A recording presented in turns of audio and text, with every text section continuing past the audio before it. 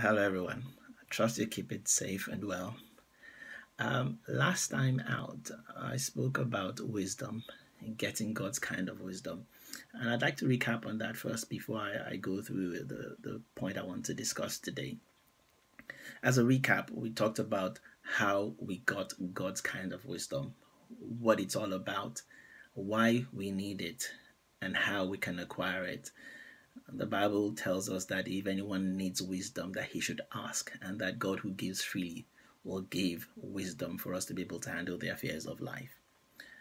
Today, I want to speak about the book of Ecclesiastes. I believe it's a book that covers, in some kind of succinct way, how Solomon evolved, especially in his old age, looking at wisdom and how he dealt with life. And so, over the next few minutes, we'll, cover that part of things. Now, Solomon was. Uh, a king in Israel. And he started off very well with God, and God was impressed with him so much so that God asked him if he wanted any gift from him. And this is what I want to share with you is covered in Second Chronicles uh, chapter 1, uh, verses 7 to, to 12. In verse 7 of that chapter, God asks Solomon what he wants from him. And Solomon in, in the latter verses then talks about wanting wisdom to be able to lead God's people aright. And God not only gave him wisdom, but gave him wealth as well to go with it because God felt that his heart was in the right place by asking for, for wisdom first. Now it's important again that we look at wisdom as we have done in the past from an eternity perspective. And Solomon starts off by going in some kind of cynical way at the beginning of, of Ecclesiastes, but makes his way gradually to draw a conclusion that it is the eternal perspective of wisdom that really does matter.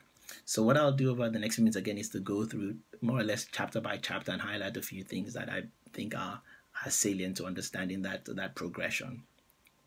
Now, the first two chapters of, of Ecclesiastes more or less focuses on, on Solomon talking about the em- emptiness. The word he uses uh, in the in the King James version is, is vanity, emptiness, things that are not meaningful.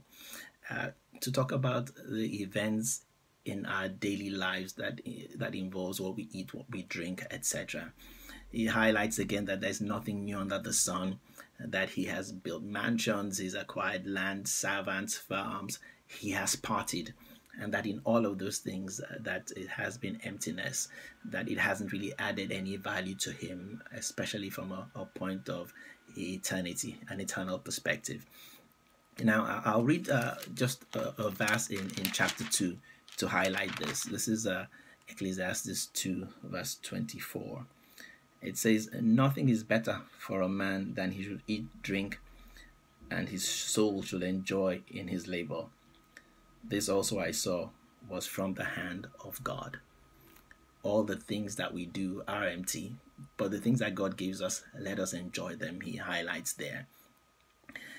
In chapter 3, it starts off by talking about um, time and seasons for everything. And I believe that's perhaps the part where everyone knows uh, Ecclesiastes, where it talks about uh, a time to be born and a time to die, a time to plant and a time to harvest, and goes on for the next eight chapters, uh, sorry, next eight verses along those lines. Trying to highlight to us that in, in living our lives, being able to get the right perspective and to be able to do the right things at the right time is very, very important in, in being wise people and understanding God's purpose and plan for our lives.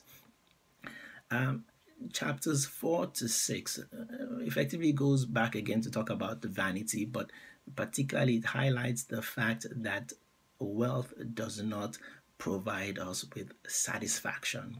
Uh, again, I think it's important to note that what Solomon is trying to build here is to is to get to a point where we understand that things in this world are transient, but wisdom shows us that in the end, a view of eternity is what accounts for perfect wisdom in Christ. Now, in chapter 5, verse 10, I'd like to read that. I think it's it's it's a nice uh, verse that uh, covers quite a bit of what we're talking about here. And chapter 5, verse 10 says, He who loves silver will not be satisfied with silver, nor he who loves abundance with increase. This also is vanity. So I think it's important for us to highlight there as well.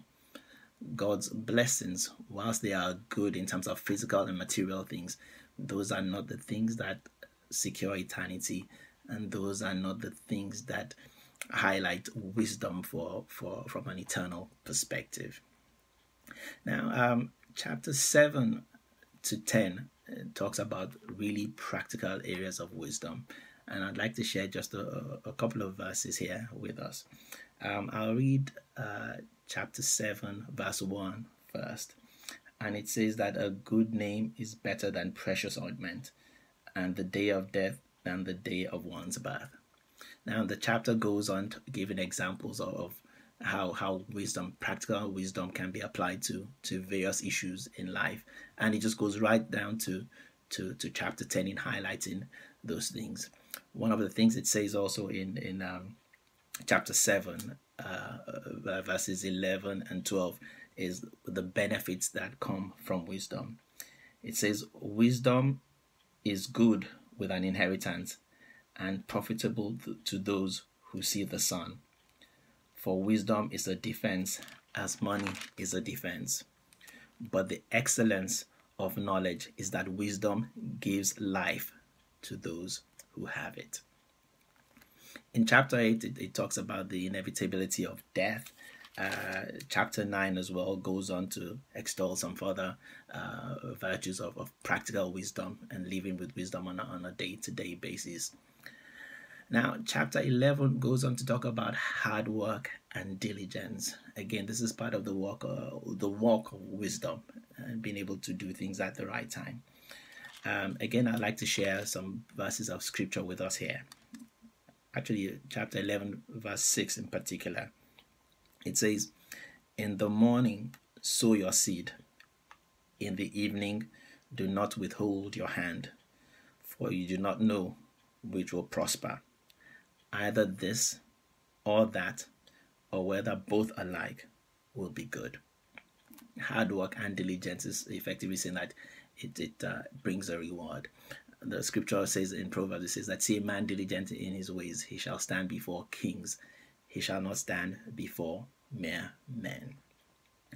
Now, the the word of God also builds up in chapter 12, which is the last chapter in the book, and, and draws uh, a good conclusion in, in verse uh, from verse 11 and 12 onwards. However, I'd like to highlight uh, the beginning of, of chapter 12, which I think is, is very important. Again, I think it's a part that we come across in scriptures a lot.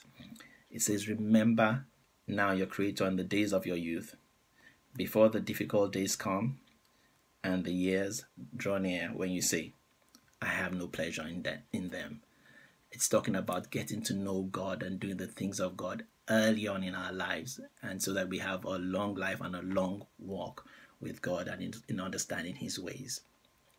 Now, in all of this, we are drawing to a point where God, or sorry, Solomon draws a conclusion about all the journey he's had in his life and in his old age, and this comes up in in the end of, of the of the chapter here it says, Father, my son, this is verse 12 onwards, be admonished by this, of making many books, books that there is no end, and many study wearisome to the flesh.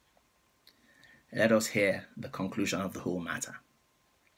Fear God and keep his commandments, for this is man's all. For God will bring every work into judgment including every secret thing, whether good or evil. And that's my uh, review of the book of Ecclesiastes. I hope you have been able to pick up one or two things from it. I certainly have. God bless you and keep you, and I hope I get to see you soon. Bye.